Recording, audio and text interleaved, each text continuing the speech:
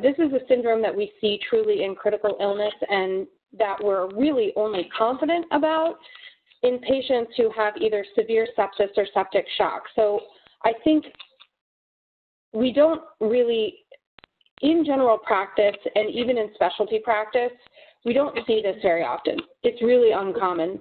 Um, and we see it basically, you can, you can gauge how often you're going to see this syndrome in dogs and probably cats and foals based on how often you are treating an animal that has systemic inflammation so severe to lead them to be hypotensive secondary to a severe infection um, uh, and develop multiple organ failure and things of that nature. So they have to be really, really sick. This is not a syndrome that we would expect to see in an animal that is standing up.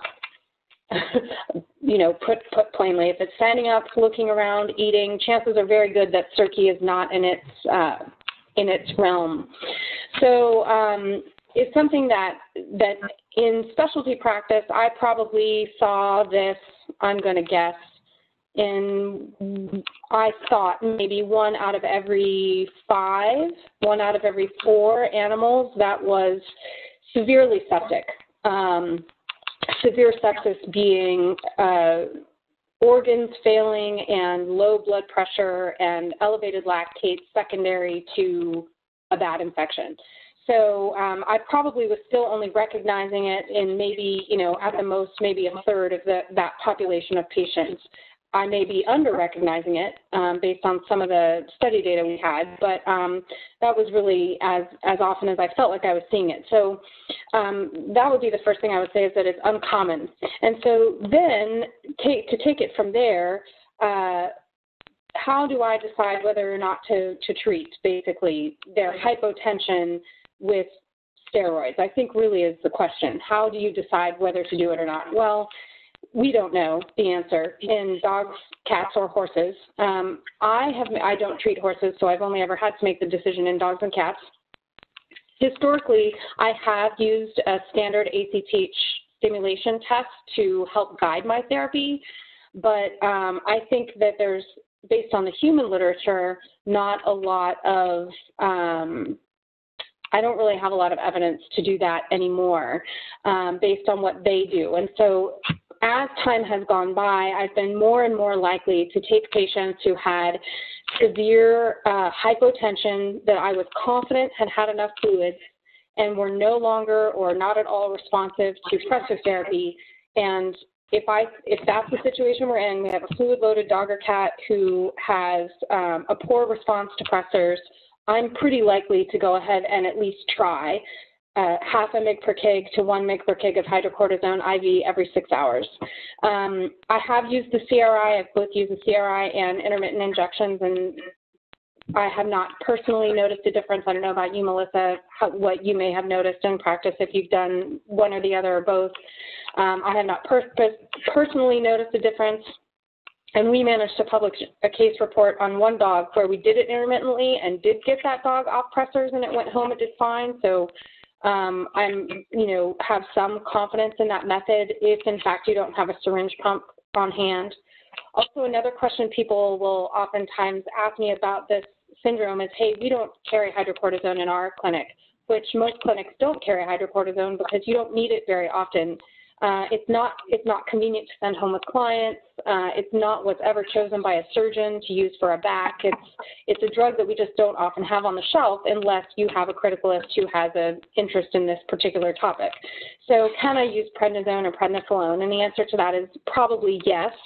Um, you just need to remember to scale your dose. So the total dose using uh, intravenous prednisone, prednisolone um, would be a quarter of the hydrocortisone dose. So you would only use one mg per kg total per day rather than one mg per kg per dose every six hours. So, but you would dose it like pred. So you would use it every, twice a day, not four times a day, but you might give it, say, half a mg per kg IV twice a day. Depending on the size of the animal, then you're oftentimes buying like a whole bottle of Solu-Medrol and having to waste large amounts of it because the bottles are designed for humans and you're using it in some tiny like Yorkie or something like that.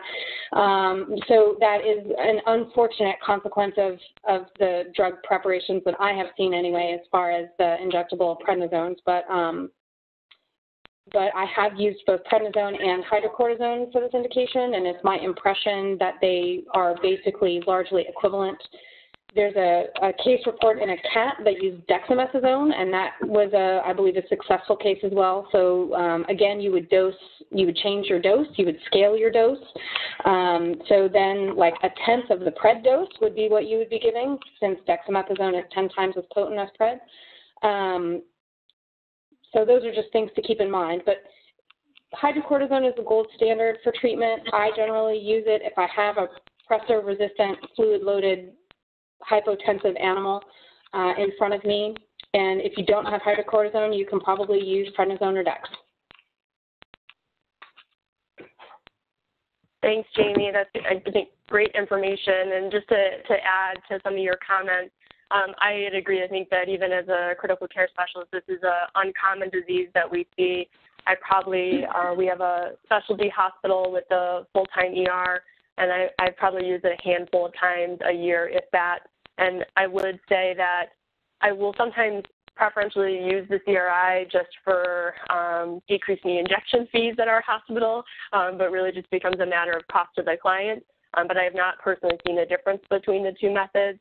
And I, I think it's uh, important to just make sure um, if you are going to purchase hydrocortisone, which I think it is a, a relatively inexpensive drug, but in general practice, you may not have a need for it. Um, just be sure that you're getting the right preparation. I think just recently we had a, a patient that was in that had um, inadvertently been given the Solu-Delta Cortef, um, which I think in if I'm um, correct, is not the same as the uh, Solu-Medrol. So um, just be sure to get the right preparation and um, use that accordingly. But I think that it's as you as we see more and more of these patients, there are these patients that I do see respond that are not responding to traditional therapies, that are, are not responding to pressor support. Um, and I think pretty quickly, the ones that are going to respond, you usually see that response um, you know, shortly after the, the first or second dose. So in those patients, it has worked out nicely. I think one of the follow-up questions that I always have is, in those patients that are responding to the hydrocortisone, Jamie, in your opinion, what do you do to send those patients home? Do you do a taper pred dose, or do you try to taper them off in the hospital? What's your experience with that? Um, personally, I have sent them home on low doses of prednisone. Uh, I've generally tapered at home. I have not been in a hurry to taper them as long as they're not having any untoward side effects, uh, which I've never seen any myself, knock on wood, that I've like recognized anyway. Um, so as long as they're not having any um, prednisone side effects, I've kept them on a low dose of up to a mg per kg per day pred equivalent while they're in the hospital. Get them home, get them to the point where they're eating really well for you, and in general seem to be feeling good. And their owner would tell you, hey, Fido looks normal to me, um, and then I would start to wean them. I will say though that I do that just because um, for no for no good reason. I do that for for my personal bias of um, not knowing when to do it. So um, the human guidelines don't have any guidelines either. The only guideline that they have on the human side is that they do recommend tapering. They don't recommend abruptly stopping the um, steroid, but they don't even make any specific tapering recommendations. And I do not know what people usually get as far as their personal taper. Now, humans are oftentimes in the hospital much, much longer than dogs and cats, so I'm pretty confident that their taper is happening entirely in the hospital. Uh, but I would be surprised if it were happening over a time a time period shorter than about a week. And that's what I've generally done is like at the one, you know, a few day recheck if they're doing great or a one week recheck if they're doing great, then I then I start the standard pred taper of you know now we're going to just once a day dosing for three or four days and then every and then uh, every other day dosing for three or four doses and then stop. Okay, good. Yeah, I would agree. That's pretty pretty similar to what we're doing is tapering them off. I, I will say N of one, but we had a pretty um, crazy case as a resident that I was a severe septic patient that was a second time septic abdomen. And I, I just remember that patient, as we were tapering it, um, seemed to have some signs of um, adrenal insufficiency, again, where the, the dog just was kind of not himself. He was lethargic, wasn't acting right, and we ended up having to go up on the back up on the dose and do a slower taper. And that's the only case that I can remember. And, and who knows? I mean, we did have a, a stim test that was done that showed that the patient was still consistently um, low, um, and we did have, luckily, in that patient follow-up data to show that it um, eventually the patient had a full response. Um, but again, that's one patient. There could have been certainly many other factors, but I, I think that there is evidence, at least right now, clinically, to not cold turkey those those steroids. Yeah. So I'm not in a rush to do that. you gotta write that up, Melissa. yeah, definitely. In in my free time, I will for sure. But it, it is it is interesting. I think as we as we start start to see more and more of these cases and learn more, even just even from the human aspect, um, I think this would be a great multi-center study to eventually um, take on board, especially with the trauma um, registry coming out. I think that there might be some other avenues where we could hopefully get some more evidence behind a lot of this, and, in at least um, cats and dogs, and eventually hopefully equine as well.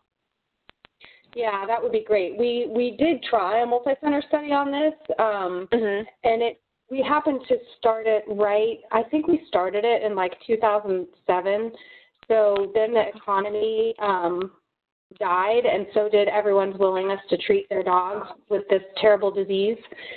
So um, the terrible disease being the severe sepsis and septic shock. So we only recruited eight animals from eight institutions over the course of like three years. Was really sad.